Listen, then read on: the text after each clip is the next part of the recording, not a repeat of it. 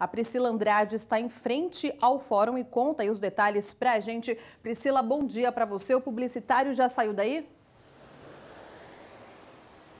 Exatamente. Bom dia para você, Jéssica. Bom dia para todo mundo. Como você falou, a audiência acabou de terminar. Inclusive, nós acompanhamos a saída do publicitário agora há pouco, escoltado pela polícia. É, a justiça entendeu que o publicitário preso em flagrante durante a Operação Luz na Infância, que está em, seu, em sua quarta fase, deve permanecer preso. Ele deve ser transferido ainda hoje para uma penitenciária, ainda não foi divulgado o nome. Vale lembrar que essa grande operação aconteceu em todo o país, mas aqui em Araçatuba, na nossa cidade, o único alvo da investigação foi esse publicitário.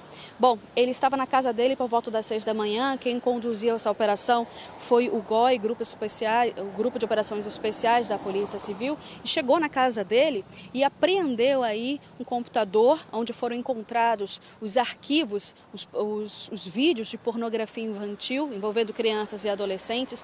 Encontrou também uma espingarda, um revólver de airsoft, que é um esporte que simula técnicas e táticas aí de, de ataque da polícia e do exército, além de munições de uso restrito e também um sapatinho de criança. Ele foi está preso desde ontem e a justiça entendeu que ele deve seguir preso.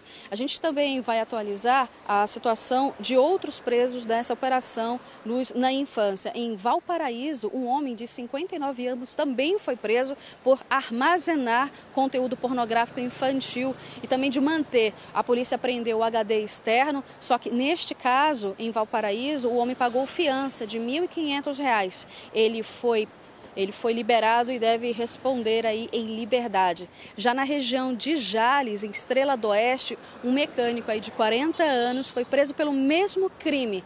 Só que na situação dele, ele pagou uma fiança de R$ 3.500, foi liberado e também vai responder em liberdade. No caso de Mirassol, caso dos dois irmãos, eles não pagaram fiança, e mas foram é, liberados.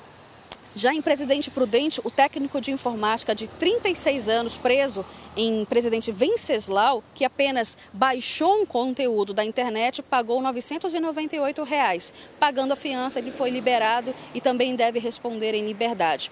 Um pintor de 30 anos em Presidente Prudente preso não pagou fiança no valor estipulado de R$ mil reais. Ele deve passar por uma audiência de custódia também.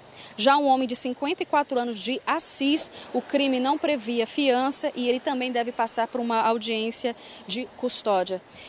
A gente, quando eu leio uma informação dessa, realmente fica é, chocante ver a quantidade de situações como essas. E por isso que levantam um alerta devemos proteger as crianças e os adolescentes na internet.